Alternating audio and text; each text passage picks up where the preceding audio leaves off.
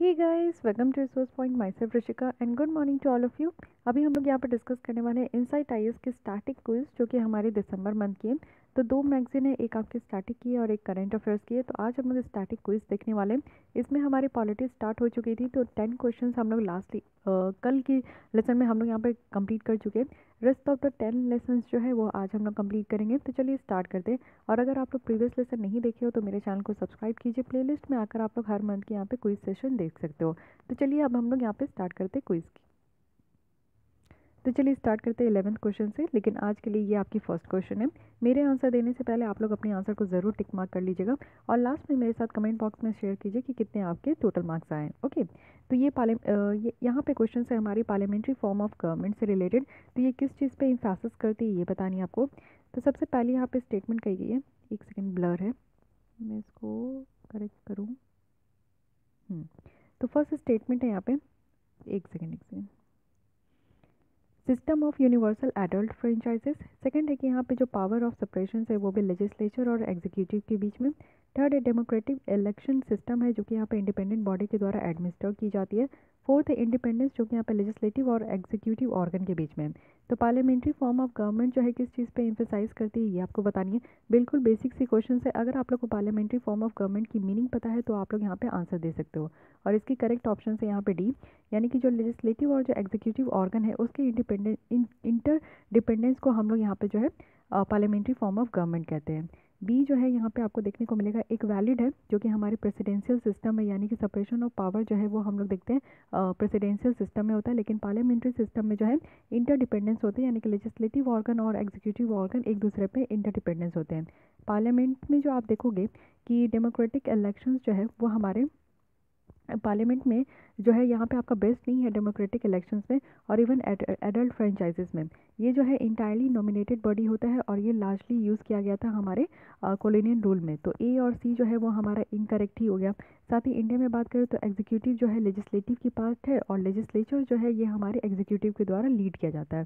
तो इसलिए यहाँ पर आपको देखने को मिलेगा डी जो है हमारी करेक्ट ऑप्शन है। ओके ये आपका गलत लिखा गया। तो चलिए अब आते हैं ट्वेल्थ क्वेश्चन नंबर में। यहाँ पे आपको करेक्ट स्टेटमेंट बतानी है और ये है इंट्रीम गवर्नमेंट से रिलेटेड जो कि 1946 में फॉर्म्ड हुई थी। फ़र्स्ट स्टेटमेंट है कि ये हमारा जो है पहली बार इस तरीके की कैबिनेट जो है इंडिया की हिस्ट्री में बनी थी, जिसमें दोनों है, कांग्रेस है और मुस्लिम लीग भी है, जो कि सेंटर में पावर शेयर किए थे। सेकेंड है, जो इंट्रीम गवर्नमेंट है, वो यहाँ पे जो फ़ंक्शन करती है, वो गवर्नमेंट ऑफ़ इंडिया एक्ट 1935 के अकॉर्डिंग करती है। थर्ड है कि जो इंट्रिंग गवर्नमेंट है, वो फ़ंक्शन तब तक की है जब तक इंडिया जो है एक सॉवरेन डेमोक्रेटिक रिपब्लिक नहीं बन गई है। तो यहाँ पे आपको करेक्ट बतानी है first and second first only first and third second and third तो यहाँ पे पहले आप अपने आंसर दे लीजिए, फिर मैं यहाँ पे बताती हूँ।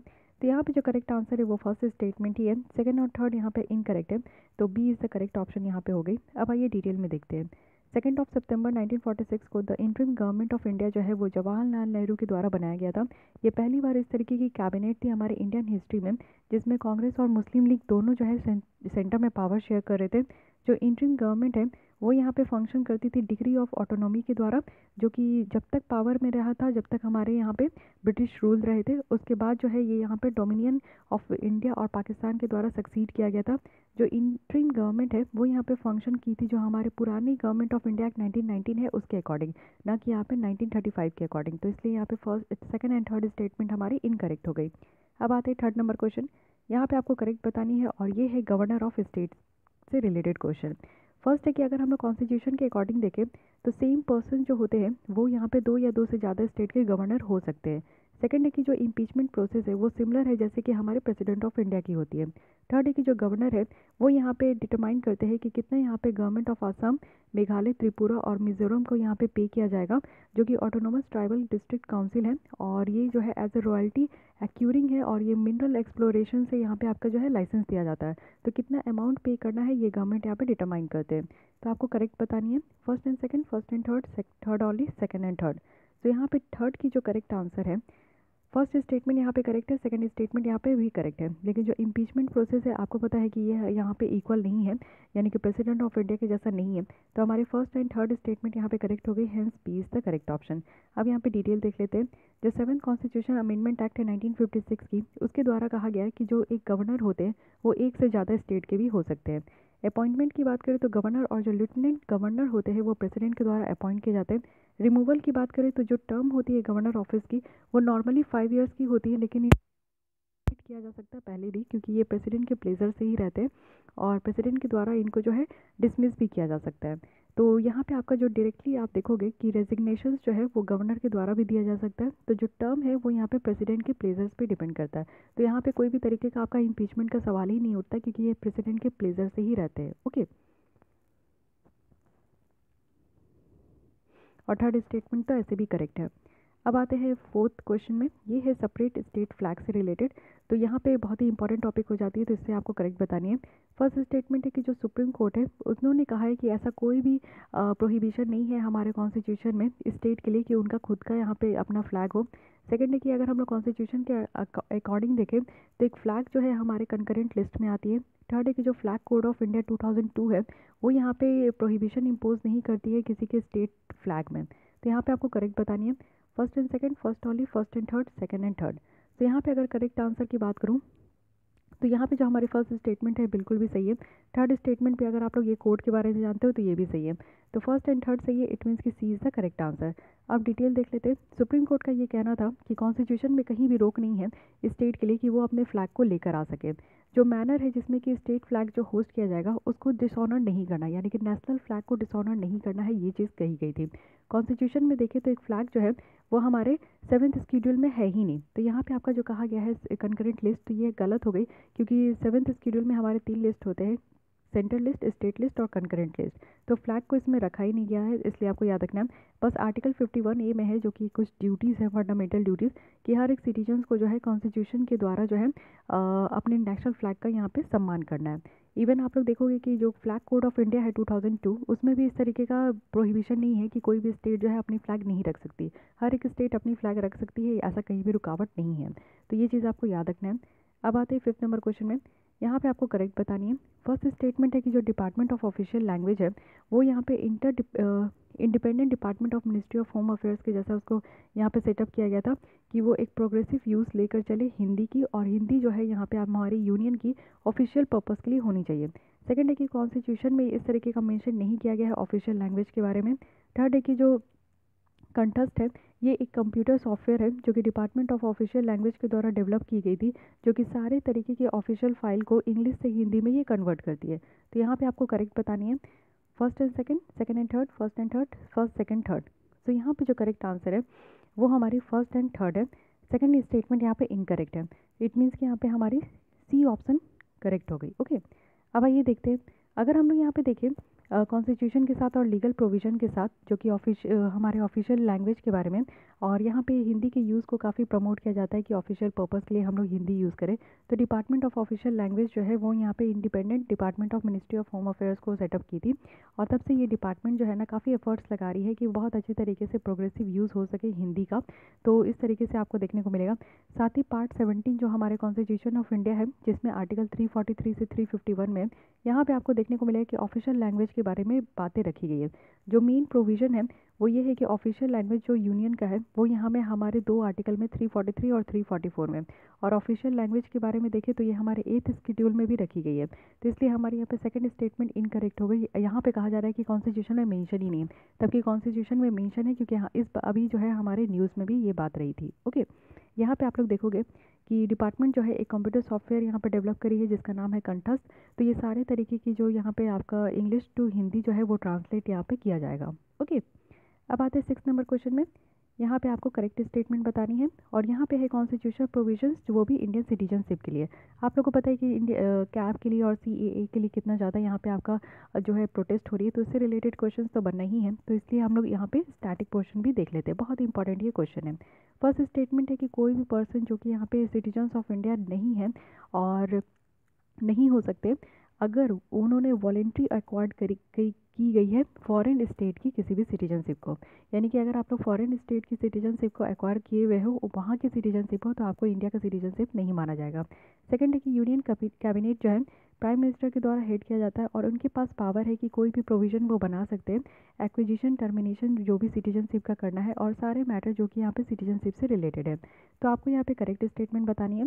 First only second only both या फिर नन तो यहाँ पे अगर सिक्स की करेक्ट आंसर की बात करूँ तो ये है फ़र्स्ट इट मीन्स की फ़र्स्ट स्टेटमेंट यहाँ पे करेक्ट है सेकंड यहाँ पे हमारी इनकरेक्ट है। जो कॉन्स्टिट्यूशन प्रोविज़न है, वो यहाँ पे ये यह है कि आर्टिकल नाइन हमारी कहती है कि यहाँ पे कोई भी पर्सन अगर फॉरेन कंट्री की दूसरे कंट्री की अगर आप लोग सिटीजनशिप ले लेते हो तो आपकी इंडिया की सिटीजनशिप खत्म हो जाएगी। वहीं अगर आर्टिकल टेन की बात करें तो यहाँ पे कि हर एक पर्सन जो कि यहाँ पे सिटीजन्स ऑफ़ इंडिया है तो वो इस तरीके से सिटीजन्स वो कंटिन्यू रहेंगे और कोई भी प्रोविजंस जो कि कानून यहाँ पे पार्लियामेंट के द्वारा बनाया गया है तो वो हमेशा से इंडिया के सिटीजन्स ही रहेंगे। थर्ड है कि जो पार्लियामेंट है, उनके पास पावर है कि कोई भी प्रोविजंस वो रख सकती है। अगर किसी के भी सिटीजनशिप को यहाँ पे एक्वायर करने की बात हो या फिर टर्मिनेट करने की बात हो? तो यहाँ पे जो हमारी सेकंड स्टेटमेंट बस इसलिए गलत हो गई क्योंकि ये पार्लियामेंट का पावर है। यहाँ पे प्राइम मिनिस्टर के पास इस तरीके की पावर नहीं है ओके तो ये आपको ध्यान रखना है। अब आते हैं सेवन्थ नंबर क्वेश्चन में। यहाँ पे है फंडामेंटल राइट्स जो कि हमारे कॉन्स्टिट्यूशन के द्वारा गारंटी की गई है। तो तीन स्टेटमेंट है, आपको करेक्ट बतानी है। फ़र्स्ट है कि जो फंडामेंटल राइट है, ये हमारे अवेलेबल है। आर्बिट्री एक्शन जो स्टेट की है, उसके अगेंस्ट में और एक्शन जो प्राइवेट इंडिविजुअल है, उसके अगेंस्ट में। सेकेंड है कि जो पार्लियामेंट है, वो यहाँ पे हमारी ऑर्डिनरी एक्ट के थ्रू कटल भी कर सकती है, इस राइट को और अपील भी कर सकती है। नेक्स्ट है कि जो सिक्स राइट है, जो हमारे आर्टिकल में यहाँ पे गारंटी की गई है, उसको सस्पेंड भी किया जा सकता है जब इमरजेंसी यहाँ पे हमारे आर्म्ड रेबिलियन के ग्राउंड में ये डिक्लेयर हो जाए तो। तो आपको यहाँ पे करेक्ट बतानी है। First and second first and third first only second and third so seventh की यहाँ पे करेक्ट आंसर की बात करूँ तो यहाँ पे फ़र्स्ट स्टेटमेंट हमारी करेक्ट है। सेकंड एंड थर्ड यहाँ पे इनकरेक्ट है इट मीन्स की C is the correct option अब डिटेल में देख लेते हैं। इनमें से बहुत सारे हैं जो कि हमारी यहाँ पे अवेलेबल है आर्बिट्री एक्शन ऑफ़ स्टेट के अगेंस्ट में और इंडिविजुअल प्राइवेट इंडिविजुअल के भी अगेंस्ट में। यहाँ पे जो आप देखोगे कि इस तरीके की जो फंडामेंटल राइट है, ये पूरी तरीके से आपका जो है सैक्रोसेट या परमानेंट नहीं है। पर ये जो पार्लियामेंट है ना इसको कटेल भी कर सकती है हटा भी सकती है काट भी सकती है और वापस भी ले सकती है। लेकिन बस ये कॉन्स्टिट्यूशनल अमेंडमेंट एक्ट के थ्रू कर सकती है कोई भी ऑर्डिनरी एक्ट के थ्रू नहीं कर सकती है। तो इसलिए हमारी सेकेंड स्टेटमेंट करेक्ट हो इनकरेक्ट हो गई। थर्ड है कि यहाँ पे आपको देखने को मिलेगा कि ये सिर्फ़ यहाँ पे नेशनल इमरजेंसी आपका जब सस्पेंड किया जा सकता है जब नेशनल इमरजेंसी आपका लगाया जाएगा तो यहाँ पे सिर्फ़ आर्टिकल ट्वेंटी और ट्वेंटी वन के अलावा सारे जो आ, हमारे फंडामेंटल राइट्स हैं वो यहाँ पे ऑटोमेटिकली सस्पेंड हो जाते हैं। लेकिन यहाँ पे जो सिक्स राइट हमारे आर्टिकल नाइनटीन में दी गए हैं ना तो वो बस इमरजेंसी जब हमारे दो रीज़न में लगेगा तभी ये हटेगा। और ये है जब वॉर होगी और एक्सटर्नल एग्रेशन होंगे, तभी आर्टिकल नाइनटीन के जो हमारे सिक्स प्रोविजंस है सिक्स हमें जो फ्रीडम दिया गया, वो यहाँ पे आपका जो सस्पेंड हो जाएगा। तो यहाँ पे आर्म ट्रिबिलियन के केसेस में नहीं होगा, यानी कि इंटरनल इमरजेंसी है तो इसके केस में हमारी आर्टिकल नाइनटीन जो है वो सस्पेंड नहीं होगी। सिर्फ़ वॉर और एक्सटर्नल रेबिलियन के ही टाइम में यहाँ पे हमारी आर्टिकल नाइनटीन जो है सस्पेंड होगी। तो इसलिए यहाँ पे एक सेकेंड हमारी सेकेंड और थर्ड स्टेटमेंट जो है इनकरेक्ट हो गई ओके तो ये आपको डिटेल याद रखना होगा, इसका और कोई ऑप्शन नहीं है। अब आते हैं यहाँ पे हम लोग एट नंबर क्वेश्चन में। यहाँ पे डीपीएसपी से रिलेटेड है तो तीन स्टेटमेंट है आपको करेक्ट बतानी है। फ़र्स्ट है कि ये कॉन्स्टिट्यूशन इंस्ट्रक्शन है स्टेट के लिए, वो भी लेजिस्लेटिव एग्जीक्यूटिव और एडमिनिस्ट्रेटिव मैटर में। सेकेंड है कि यहाँ पे इस्टेब्लिश किया जाएगा इकोनॉमिक और सोशल डेमोक्रेसी थर्ड है कि ये हमारे सारे सिटीजन्स को सिक्योर करेगी एक यूनिफॉर्म सिविल कोड वो भी थ्रू आउट द कंट्री में, और ये एक सोशलिस्टिक प्रिंसिपल के पार्ट है। ओके तो आपको करेक्ट बतानी है first and third first and second second only first second third okay so eight की यहाँ पे अगर मैं करेक्ट आंसर की बात करूँ तो यहाँ पे जो थर्ड स्टेटमेंट है वो ऑटोमेटिकली यहाँ पे इनकरेक्ट है, क्योंकि ये जो यूनिफॉर्म सिविल कोड है, ये हमारे सोशलिस्टिक प्रिंसिपल का पार्ट नहीं है। बाकी ये जो फ़र्स्ट एंड सेकेंड स्टेटमेंट है, ये करेक्ट है इट मीन्स की B is the correct option okay तो अगर हम लोग बात करें जो डीपीएसपी है directive principle of state policy यहाँ पे ये कुछ आइडियाज़ करती है स्टेट को कि वो अपने दिमाग में रखें, जब यहाँ पे फंडामेंटल राइट्स दिया जा रहा है और वो अगर कोई भी पॉलिसीज़ यहाँ पे फॉर्मुलेट कर रहे हैं और लॉ बना रहे हैं तो उनको कुछ यहाँ पे डायरेक्टिव दी जा रही है जिनको उनको अपने माइंड में रखना है। तो ये एक कॉन्स्टिट्यूशनल इंस्ट्रक्शन है और रिकमेंडेशन है जो कि स्टेट को दिया जाता है सारे मैटर में, यानी कि लेजिस्लेटिव एग्जीक्यूटिव और एडमिनिस्ट्रेटिव मैटर में। डीपीएसपी की बात करें तो बहुत ही ज़्यादा कॉम्प्रिहेंसिव इकोनॉमिक सोशल और यहाँ पे पॉलिटिकल प्रोग्राम है मॉडर्न डेमोक्रेटिक स्टेट के लिए। इसका यही एम है कि एक जस्टिस यहाँ पे प्रोवाइड करना है लिबर्टी होनी चाहिए, लोगों को इक्वालिटी देना है, फ्रेटर्निटी देना है, जो भी हमारे प्रेम्बल में लिखा गया है। साथ ही आप देखोगे कि सारे सिटीजन्स को यहाँ पे यूनिफॉर्म सिविल कोड जो यहाँ प्रोवाइड की जाने की बात की जा रही है, वो भी आर्टिकल 44 में। तो ये लिबरल इंटेलेक्चुअल प्रिंसिपल है, ना कि सोशलिस्टिक प्रिंसिपल है ओके अब आते हैं नाइन्थ क्वेश्चन में, यहाँ पे आपको करेक्ट स्टेटमेंट बतानी है, वो भी यहाँ पे आपका जो है राइट टू कॉन्स्टिट्यूशनल रेमेडीज़ जो हमारे आर्टिकल 32 में है, उससे रिलेटेड कुछ क्वेश्चन है। फ़र्स्ट है कि जो सुप्रीम कोर्ट है, वो यहाँ पे आर्टिकल 32 के तहत रूल करी है कि ये एक बेसिक फीचर्स है कॉन्स्टिट्यूशन की। सेकेंड है कि जो फंडामेंटल राइट right और दूसरे जो स्टैटूटरी राइट right है, वो यहाँ पे आर्टिकल 32 के तहत इन्फोर्स की गई है। थर्ड है कि जो सुप्रीम कोर्ट है, उनके पास दोनों है, यानी कि एक्सक्लूसिव और ओरिजिनल जुरिस्डिक्शंस है, अगर हम लोग फंडामेंटल राइट के केस में देखें। फोर्थ है कि आर्टिकल 32 जो है, उसको हम लोग इन्वोक नहीं कर सकते, जो कि कॉन्स्टिट्यूशनैलिटी को ये डिटरमाइन करती है एग्जीक्यूटिव ऑर्डर को और लेजिस्लेटिव को अनलेस जब तक ये डायरेक्टली जो है हमारे फंडामेंटल राइट को अगर इन्फ्रिंज नहीं करती है फंडामेंटल राइट को अगर ये नुकसान नहीं पहुंचाती है तो ये किसी और चीज़ को यहाँ पे हमारे एग्जीक्यूटिव और लेजिस्लेटिव ऑर्डर को ये जो है डिटरमाइन नहीं करेगी। तो इसमें आपको करेक्ट बतानी है। First and fourth second and third first second third second third fourth तो यहाँ पे अगर मैं नाइन्थ की करेक्ट स्टेटमेंट की बात करूँ तो यहाँ पे जो हमारी आर्टिकल थर्टी टू है, ये बेसिक फीचर ऑफ़ कॉन्स्टिट्यूशन है। तो फ़र्स्ट यहाँ पे करेक्ट है तो बी एंड डी यहाँ पे रिमूव हो गए। उसके बाद फोर्थ स्टेटमेंट की बात करूँ तो ये बिल्कुल सही है। आर्टिकल थर्टी टू जो है, आपका तभी ये लगाया जाता है जब आपके फंडामेंटल राइट वॉयलेट होते हैं। ना कि कोई यहाँ पे एग्जीक्यूटिव ऑर्डर का अगर हनन हो रहा है कॉन्स्टिट्यूशन के हिसाब से नहीं चल रहे लेजिस्लेटिव ऑर्डर यहाँ पे कॉन्स्टिट्यूशन के हिसाब से नहीं चल रहे तो उसका आर्टिकल थर्टी टू से कोई लेना देना नहीं है। आर्टिकल थर्टी टू बस यहाँ पर हमारी जितनी भी फंडामेंटल राइट दी गई है, उसी को सेव करने के लिए यहाँ पर दिया गया है। तो फोर्थ भी यहाँ पर करेक्ट है तो फ़र्स्ट एंड फोर्थ यहाँ पर हमारी करेक्ट है तो ए ऑप्शन यहाँ पर करेक्ट हो गई। ओके तो इस तरीके से आप सॉल्व कर सकते हो। फ़र्स्ट स्टेटमेंट की बात करें तो ये हमारी जो है बिल्कुल करेक्ट है। सेकंड की बात करें तो सिर्फ़ फंडामेंटल राइट है, जो कि कॉन्स्टिट्यूशन के द्वारा गारंटी की गई है कि आर्टिकल आर्टिकल थर्टी टू के तहत इसको देखा जाएगा। ना कि कोई भी non fundamental constitution right statutory right ये सारी चीज़ें नहीं देखी जाएगी। स्टेटमेंट थ्री की बात करें तो जो हमारी फंडामेंटल राइट को इन्फोर्स करने का केस है तो जो भी हमारे सुप्रीम कोर्ट की जुरिस्डिक्शन है, ये ओरिजिनल है, ये एक्सक्लूसिव नहीं है। ओके तो यहाँ पे आर्टिकल थर्ड स्टेटमेंट में क्या था कि ये एक्सक्लूसिव भी है ओरिजिनल भी है। नो ये सिर्फ़ ओरिजिनल ये जुरिस्डिक्शन है ओके अब आते हैं टेंथ नंबर क्वेश्चन में और आज की लास्ट क्वेश्चन है। यहाँ पे आपको करेक्ट बतानी है। फ़र्स्ट स्टेटमेंट है कि जो कैबिनेट सेक्रेटेरिएट है, वो सेटल करती है इंटर मिनिस्ट्रियल डिस्प्यूट को। सेकंड है कि जो कैबिनेट सेक्रेटेरियल है, ये एक्स ऑफिसियो चेयरमैन हो चेयरमैन होते हैं सिविल सर्विस बोर्ड के। थर्ड है कि जो पार्लियामेंट है, वो यहाँ पे लेजिस्लेटिव काउंसिल को एबॉलिश भी कर सकती है क्रिएट भी कर सकती है। अगर कोई भी कंसर्न जितनी भी लेजिस्लेटिव असेंबली है, वो एक रेजोल्यूशन पास कर दे और एक सिंपल मेजोरिटी अगर वो जीत जाए तो। तो यहाँ पे आपको करेक्ट बतानी है।